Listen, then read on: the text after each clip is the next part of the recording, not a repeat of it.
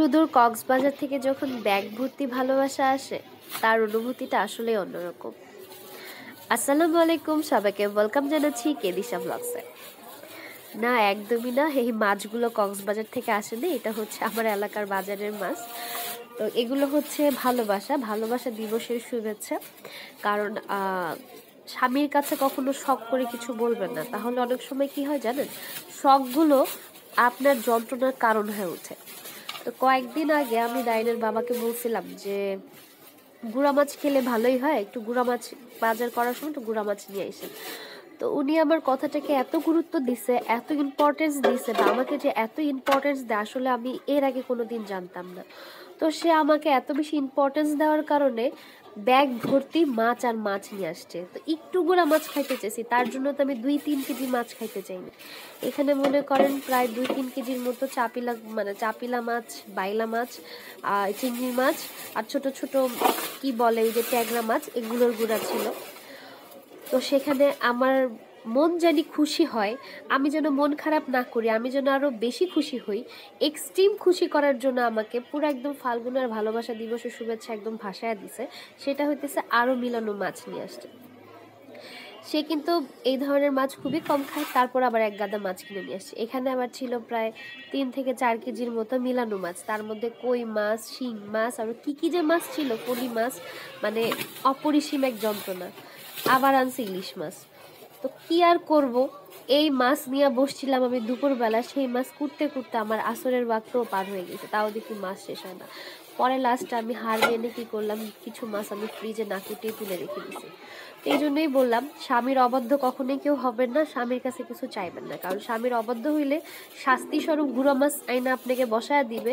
আবার বেশি ভালোবাসলে শাস্তিস্বরূপও গুঁড়া মাছ আইনা আপনাকে বসায় দিবে। যে গুঁড়া মাছই করতে থাকো গুঁড়া মাছই করতে থাকো। যাই হোক, আমি আর কমপ্লেন না করি, আমার এই ভিডিও দেখলে আমার খবর আছে আজকে। তো এই তো সারাদিন মাছ করতে করতে আমার দিন পার হয়েছে এদিকে তো আমার কোমর, মাথা সব ব্যথায় শেষ। তো মাঝখানে আমার বড় ভাইয়া ফোন দিয়ে বলল যে, তোমার জন্য একটা পার্সেল পাঠিয়েছি, তুমি একটু অমকের বাহানে ভাই আর বন্ধুর বাসায় যাইতে বলল আন্টিতে বাসায় যেতে বলল। আমি বললাম, কি দিছো পার্সেলে বলো, তুমি যাই, নিয়ে আসো আগে। তো পরে আমি তো মাছ টাছ কুটে একদম ক্লান্ত, একবার চাইছিলাম যে আমি কোথাও যাব না, কারণ আজকে আমি এমনি আধমরা হয়ে গেছি। পরে যাই হোক, দেখি কি পার্সেল পাঠাইছে। আর পার্সেলের কথা শুনলে কিন্তু যে কারও মনের মধ্যে এমনি খুশিতে লাফালাফি শুরু হয়। তা আমি তাড়াতাড়ি করে পরে আন্টিদের বাসায় চলে গেলাম যে দেখি বড় ভাই কি পাঠাইছে। তো এটা হইতেছে ভাইয়ের প্রতি বোনের ভালোবাসা। তো গিয়ে দেখি যে না, আন্টিদের বাসায় যাওয়ার আগে তো এখানে আমি আবার বাজারগুলো সব এখনও কমপ্লিট করে গোছানো হয়নি।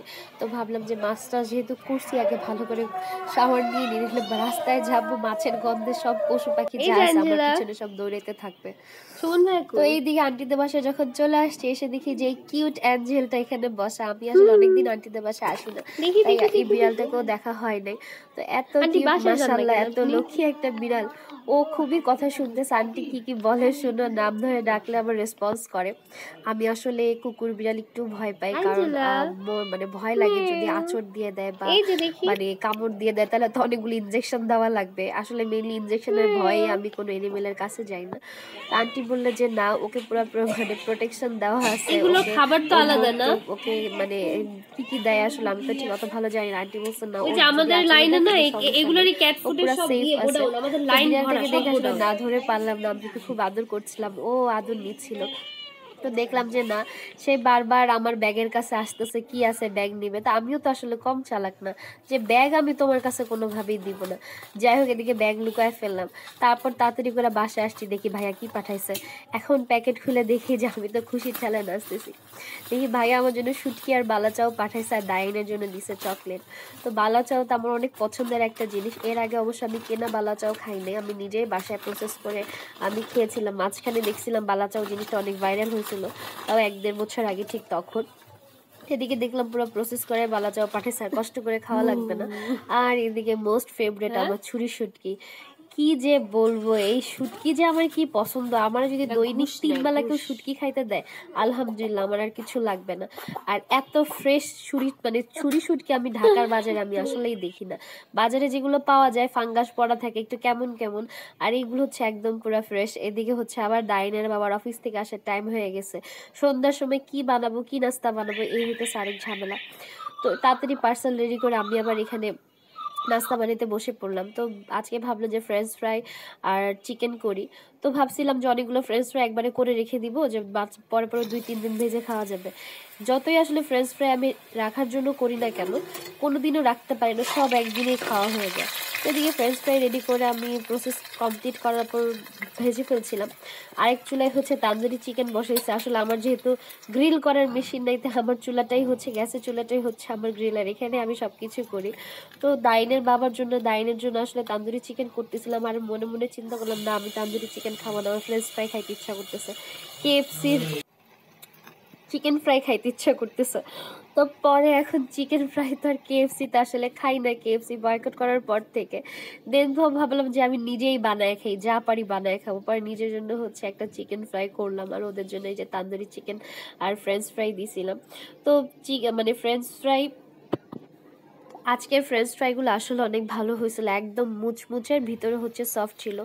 তো ওদের জন্য খাবার দিয়ে দেওয়ার পর এখন আমার জন্য আবার চিকেন ফ্রাই ভাজতে বসিয়ে দিলাম। তো এইদিকে ভাজা হচ্ছে আর আমি অপেক্ষা করতেছি কখন ভাজা হবে কখন ভাজা হবে। বাই দ্য আমার কিন্তু গ্যাস অলরেডি চলে গেছে পরে ইলেকট্রিক চুলা আবার তো এই যে এখনও তেলটাও ঠিক মতো মুছি নেই খাওয়ার জন্য পাগল হয়ে গেছিলাম। পরে দেখলাম যে না তেলটাকে মুছতে হবে তারপর খেতে হবে। যাই হোক তেল মুছে আমি তো ঝটপট চিকেন ফ্রাই খেয়ে নিলাম। তো এই তো ছিল আসলে আজকে সারাদিনে আমার ব্যস্তময় একটা দিন। তো সবাই ভালো থাকবেন। আর কোনো ভুল ত্রুটি হয়ে থাকলে প্লিজ ক্ষমা সুন্দর দৃষ্টিতে দেখবেন। আর যদি আপনাদের কোনো মতামত বা পরামর্শ থাকে, তাহলে কমেন্টস করে কমেন্ট সেকশনে জানাতে পারেন। আসসালামু আলাইকুম।